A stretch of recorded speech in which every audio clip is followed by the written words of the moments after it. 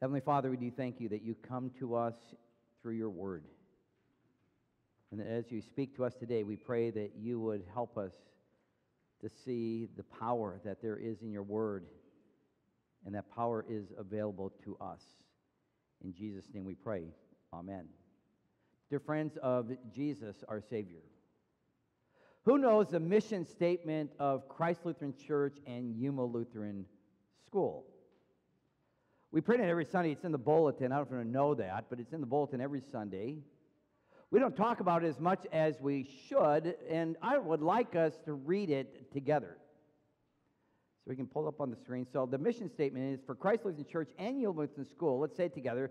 Christ Lutheran Church and Yuma Lutheran School exists to make and multiply disciples of Christ who are deployed to share God's love and care for all people. Now, if you don't have that memorized, I'm going to encourage you to memorize that this week because it's really important. It's really our take on the Great Commission that Jesus commanded us to keep. Ultimately, we want to make disciples who goes where God leads them, meaning they are deployed to make more disciples. I see our church as a sending church because we have people who come and go, who live in Yuma and they leave. Uh, we have military that do that, but there's other people as well. And so we want to send them, deploy them to continue to serve our Lord wherever they go. But it's not just that. You can be deployed to your workplace, you can be deployed to uh, the community, deployed to your own home to share the love and care of Christ to all people. And we believe that this will happen when all of disciples, all those who believe in Jesus Christ, are in the Word, in worship, and are serving. See, when Christ's disciples are engaged in these three disciplines, the church will grow. In fact, I can't help but believe the church will grow. As I said earlier today, we're beginning a sermon series titled Generous in Every Way. Listen to what we read in 1 Corinthians chapter 9, begin with verse 10. It says, now he who supplies seed to the sower and bread for the food and bread for food will also supply and increase your store of seed and will enlarge the harvest of your righteousness. You'll be made rich in every way so that you can be generous on every occasion, and through us your generosity will result in thanksgiving to God. Isn't God generous? Because not only does God provide us everything we need physically, He provides everything we need spiritually. And once more, He doesn't do this just to save us. As His disciples, He gives us everything that we have so that we will be generous, especially in matters pertaining to eternity. And I believe one of the greatest investments of our time is spending a generous amount of time in God's Word. And as, as I said before, the most important thing we can do with our time is spending it with Jesus in His Word. You can't replace that with anything because without being in the Word of God, we will never live out the calling that He has for us. And so, why is the Bible so powerful? Well, Josiah just explained to the kids, he gave a number of reasons why it's so important. It's powerful because it's the Word of God. In John chapter 1, verse 1, it says, In the beginning was the Word, and the Word was with God, and the Word was God. And so, because the Bible is the Word of God, it is alive. God's Word is living. It is filled with the vitality of God Himself.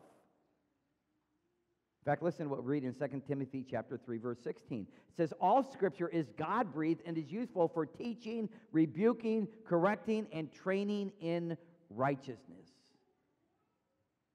And so, just as God breathed into Adam the breath of life and he became a living being, so God breathed life into the pages of Scripture, making this book different than any other book. We read something very similar in 2 Peter chapter 1. It says, Above all, you must understand no, no prophecy of Scripture came about by the prophet's own interpretation. For prophecy never had its origin in the will of man but men spoke from God as they were carried along by the Holy Spirit.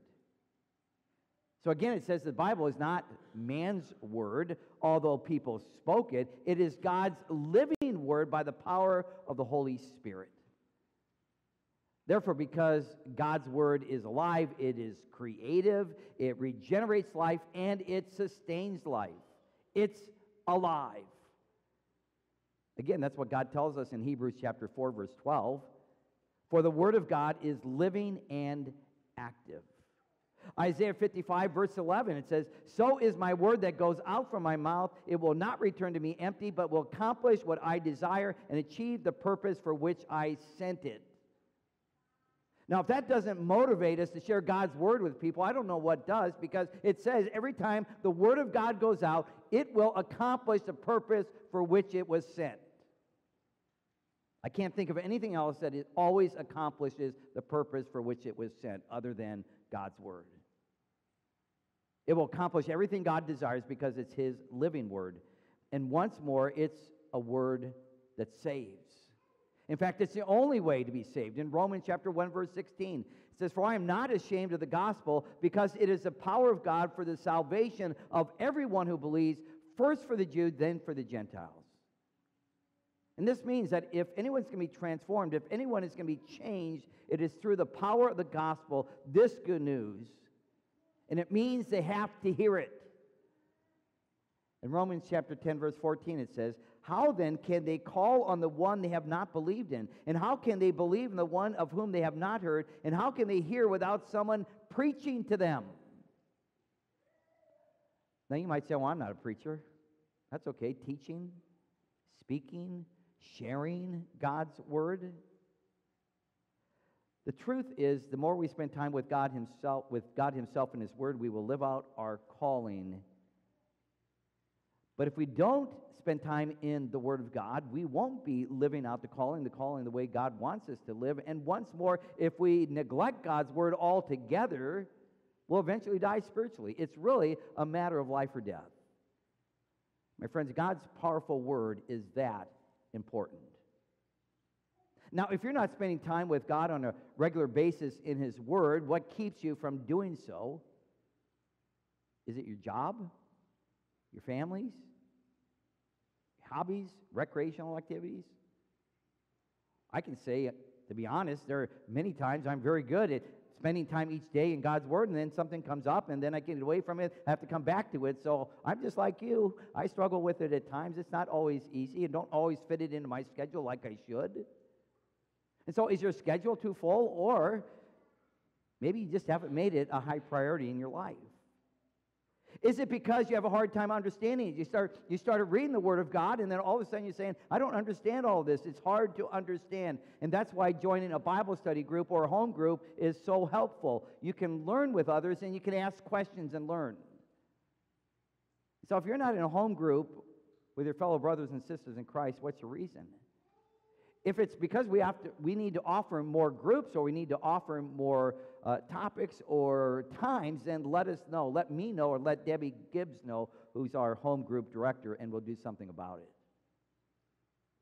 We'll do something about it because we look at our simple discipleship pathway, which is very simple everyone in the Word, everyone in worship, everyone serving. We want more people. In fact, God wants more people to be in His Word. God wants each one of us to be in His Word because we are spending time with our God who not only saved us, but who continues to sustain our faith and empowers us to live our lives for Him.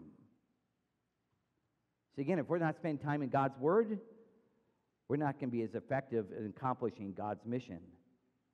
And that's why spending time in God's Word on a daily basis is not just for us, but also for the people in our community.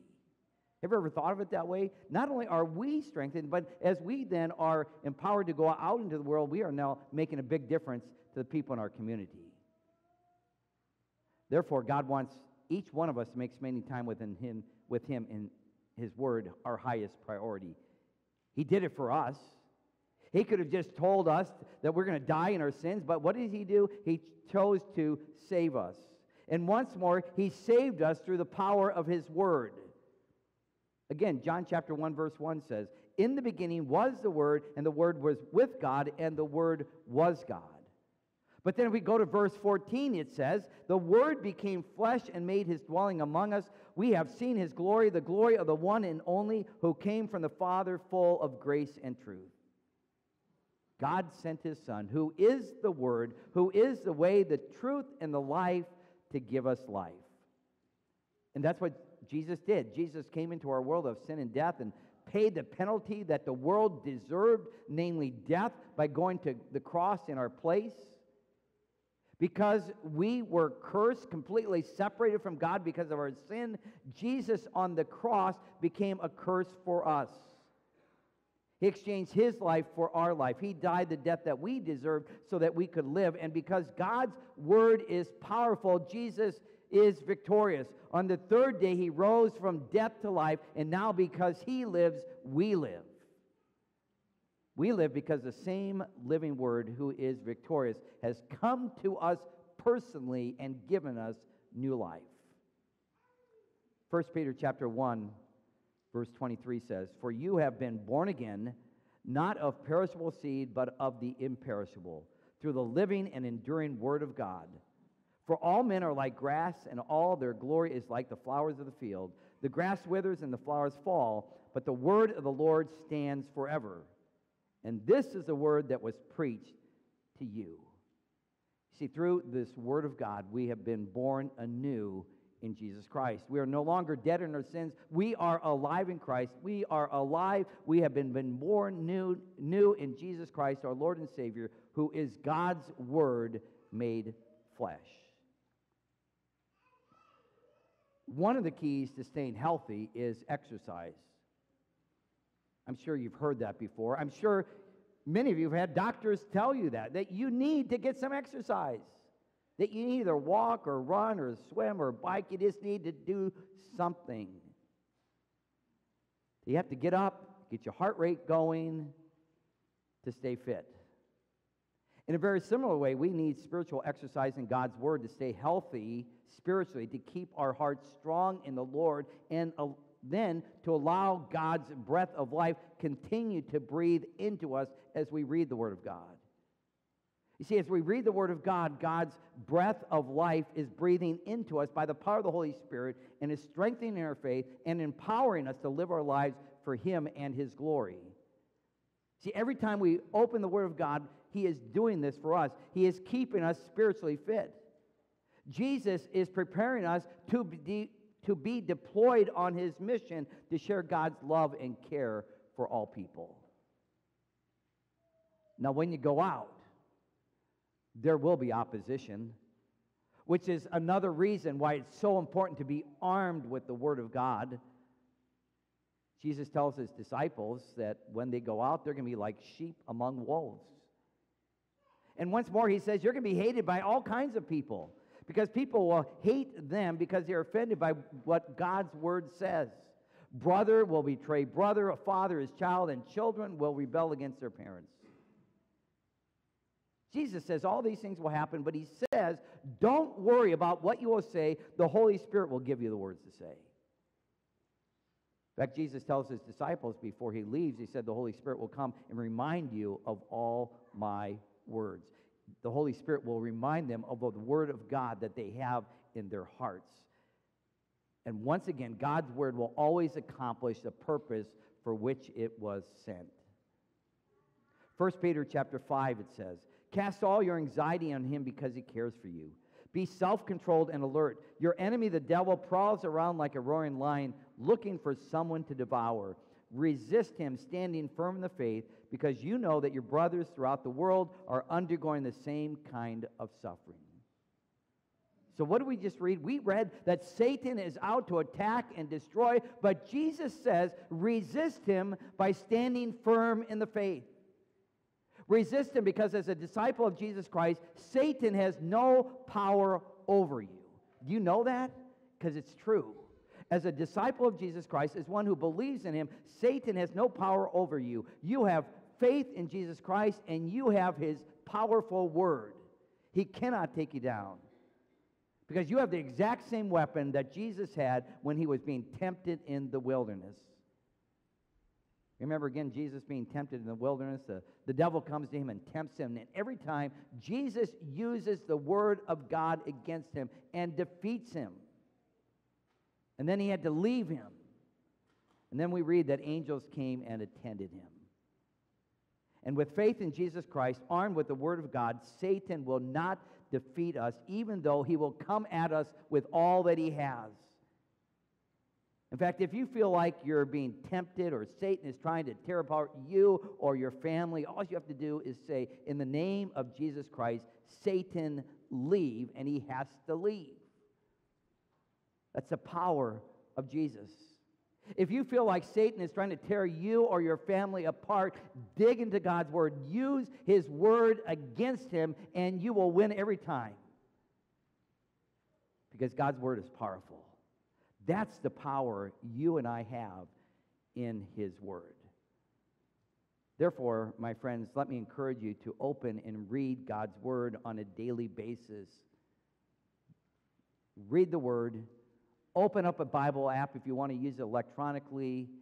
If your translation is too difficult, get a new one. Buy a new one. If you don't have a Bible and you can't afford one, let us know. We'll get you a Bible. Because God is not just suggesting that we spend time with Him in His Word, He is telling us to be in His Word for good reason. Number one, read and study God's Word individually. Listen to what He says to Joshua when Joshua is going to be leading His people. He says, do not let this book of the law depart from your mouth. Now, in the Old Testament, when he's talking about the book of the law, he's talking about the whole Word of God. He's not talking about the law in the narrow sense, the law meaning that the law shows us our sins. It's talking about the whole Word of God. So do not let this book of the law depart from your mouth. Meditate on it day and night so that you may be careful to do everything written in it. Then you'll be prosperous and successful. And then in Psalm 1, 1 to 3 says, Blessed is the man who does not walk in the counsel of the wicked, or stand in the way of sinners, or sit in the seat of mockers, but his delight is in the law of the Lord, and on his law he meditates day and night. He is like a tree planted by streams of water, which yields fruit in season, and whose leaf does not wither, whether he, what, whatever he does prospers. So every time you're in the Word of God, just like you're a tree planted near the water, and God is feeding you and keeping you alive so that you will produce fruit. God promises that when we spend time with Him in His Word, we will prosper by living the life that God wants us to live. And this is not just for adults, this is for everyone. If you can read, let me encourage you read God's Word every single day. Whether you're a child or, a te- or whether you're a teenager or high school, doesn't make any difference. Let me encourage you to read God's Word every single day. Last Thursday, I was invited to Southwestern Christian School to a pastor's appreciation breakfast, and I was sitting at a table of third graders. Had a lot of fun. And there was a boy at the table telling me that he reads his Bible every day. Third grade. He reads his Bible every day, and he was telling me the best parts of the Bible that he knows. Now, that should be an inspiration to all of us. A third grader doing that. How awesome. He does it on his own. Now, I'm sure he does it with his parents at times too, but oh, he's telling that he gets his Bible out and he reads it on a daily basis. Now, I'm sure there are times he misses. But the fact that third grade, he's reading God's Word, I was just very impressed by that. Number two, read and study God's Word as a family. In Deuteronomy chapter 6, it says, Hear, O Israel, the Lord our God, the Lord is one. Love the Lord your God with all your heart, with all your soul, and with all your strength.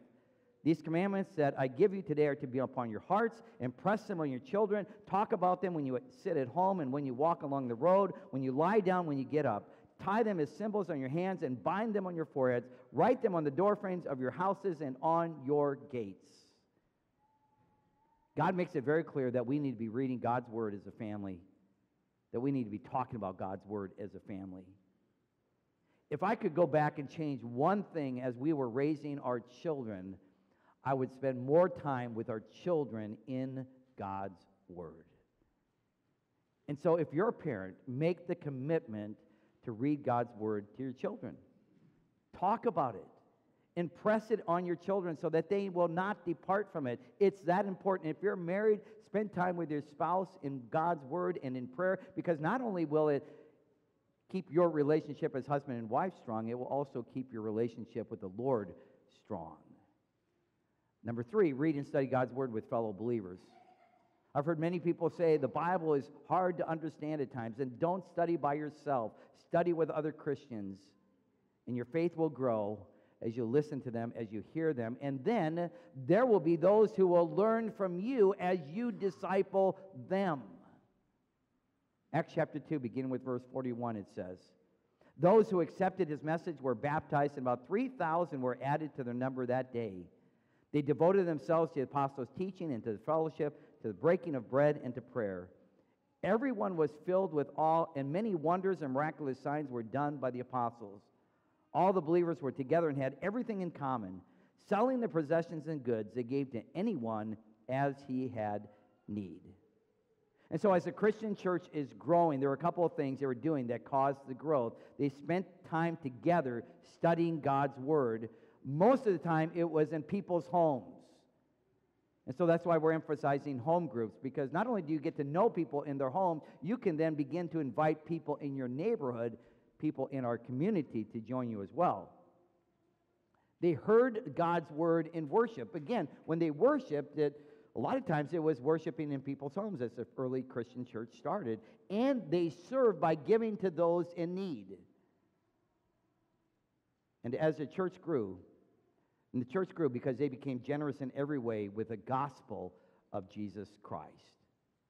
My friends, I pray this for us because as we exercise the spiritual discipline of being in God's Word, I believe without a doubt, not only will we do what God has called us to do by being generous in every way with our time, as we spend time with God in Word, in worship, we will also serve others and we will give of our resources so that ultimately we will make disciples who make disciples who will then reach more people for Christ in our community and around the world. To God be the glory. Amen. Christ is risen. He is risen indeed. Alleluia.